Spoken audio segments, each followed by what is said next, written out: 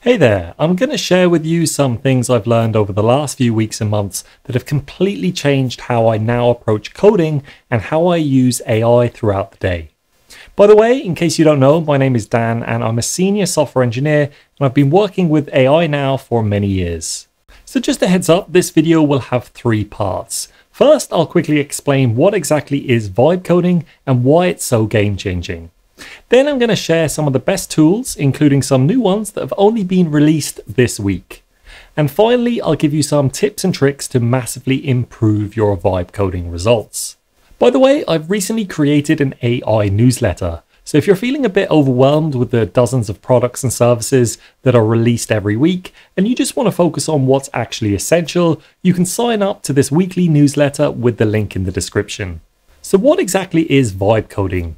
In short, it's the practice of using natural language prompts, just like the way you'd explain something to a colleague, but this time to direct AI to write, refactor, or understand your code. Instead of typing the code line by line, which requires a deep understanding of the programming language, you can simply explain what you want to achieve and let the tool write the code for you. Instead of being a coder per se, you become like a project manager where you assign instructions or tasks to an AI system and it does the work that would have previously been done by a specialized engineer.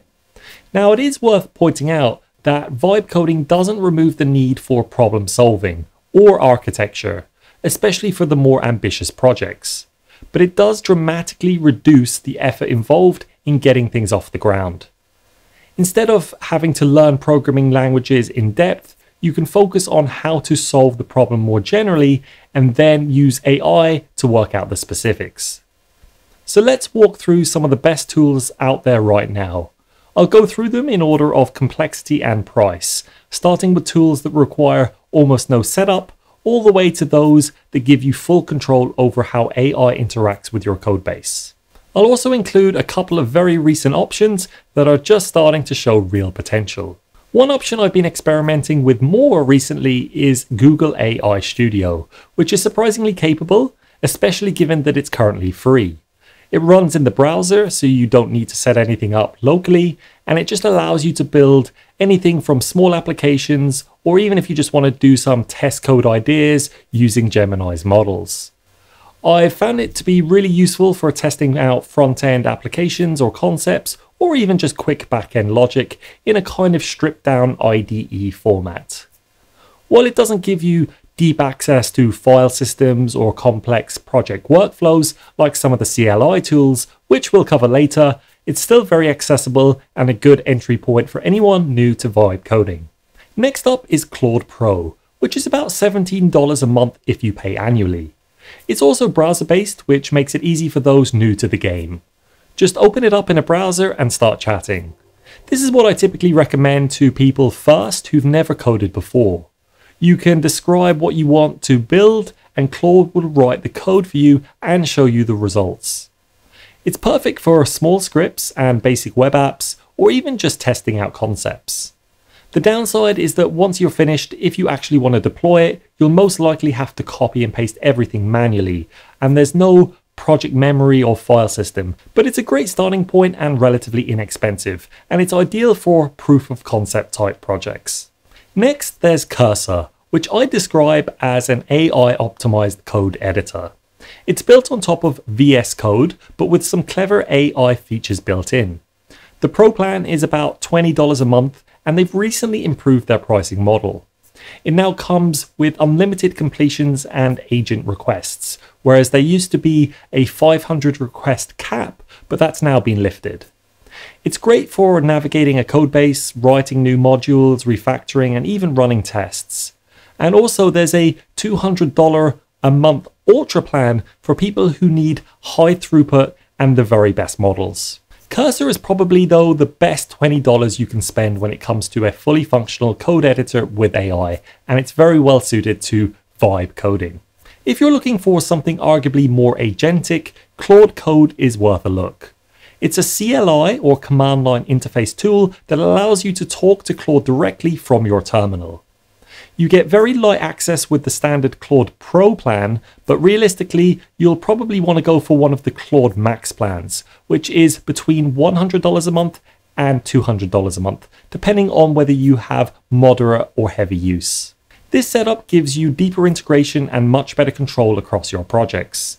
It's more advanced to get going, but once you do, it's even more automated, so it's better suited to people who are already quite comfortable in the terminal. Another promising entry here is Warp 2.0, which just launched and is worth mentioning.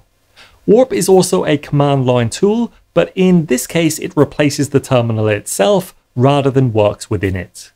It's essentially a modern terminal with an AI and intelligent autofill, AI driven suggestions, and agent like workflows, including coding agents. This now makes it a viable tool to do vibe coding. In terms of pricing, Warp offers a generous free tier with around 40 to 100 AI requests per month. For heavier users, there are multiple paid plans, including the Team or Turbo tiers, starting at around 15 to $30 a month per user which includes increased limits, team collaboration tools, and more responsive AI integrations. And while we're on that topic, Gemini CLI is Google's new offering in this space. It only came out this week, and it's very clearly inspired by Claude Code. The setup, the interaction model, and even some of the developer experience. It's built on Gemini 2.5 Pro, offering support for large projects with its 1 million token context window. What makes Gemini CLI stand out right now is its pricing. It's currently free during its preview phase. You get up to 60 requests per minute and 1,000 requests per day. That's a huge amount of usage for an AI based coding workflow. Whether it stays this generous is anyone's guess, but right now it's probably one of the best value options for command line vibe coding out there. Next, we have the all-in-one tools, and the first one I'm going to mention is Replit, but there are others too, like V0, Bolt, and Lovable. They do have some slight differences, but overall they're roughly speaking trying to achieve a similar thing, which is they try to help you create full stack applications without the need to write any code. So you could say in a sense that they're aimed more at beginners, but this isn't quite true because it's very practical and efficient to get projects off the ground using one of these tools. Now, the thing with vibe coding that's worth mentioning is some of the strategies that really help you get the most out of them. And the best one that I've come across is to try to flesh out the plan or the action before you actually begin coding. So for example, let's say your goal is to create a web app to solve a particular problem. Rather than just saying, this is the problem, go away and solve it and write code to do it, instead create a high level plan with all the things that you're trying to do, achieve, features you want to add, and even test to try and pass. If you do this first, and then when you're happy with it, then go ahead and implement it, you'll be surprised how much better the results will end up being. Not only is it less efficient from a time perspective to go ahead in the wrong direction and then try to steer the large language model back into the kind of thing that you originally intended, it's also not the best from a practical perspective because an AI will be much better off at achieving the task that you intended if you're able to first explain in depth and broadly what you want to try and achieve. So to summarize and wrap up, if you're brand new and just want to experiment, try Claude Pro or Google AI Studio as they are excellent starting points. If you're more serious and want an AI native IDE, Cursor Pro is in my view the sweet spot for value and power. And if you have some CLI experience and building bigger things is appealing, Claude Max with Claude Code or Gemini CLI gives you incredibly deep functionality. And if you're focused on UI or full stack prototyping, Replit, V0, Bolt, and Lovable each offer fast AI powered creation with varying levels of abstraction. By the way, I'd be very interested to know if you've tried out any of these tools and what you think is the best. Also, let me know if there's anything that I haven't included that you think should have been and that you personally enjoy using. Also, if you enjoyed the video, I'd really appreciate if you would like and subscribe. I really appreciate it. Thanks for watching, and I'll see you in the next one.